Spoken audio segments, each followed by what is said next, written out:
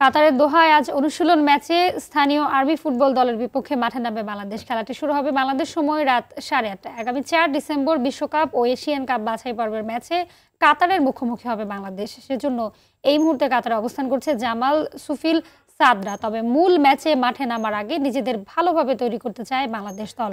তারা ধারাবাহিকতায় কাতারের স্থানীয় দুটি ক্লাবের সঙ্গে অনুশীলন ম্যাচ খেলবে লাল সবুজের প্রতিনিধিরা। দ্বিতীয় ম্যাচটি অনুষ্ঠিত হবে আঠাশ নভেম্বর।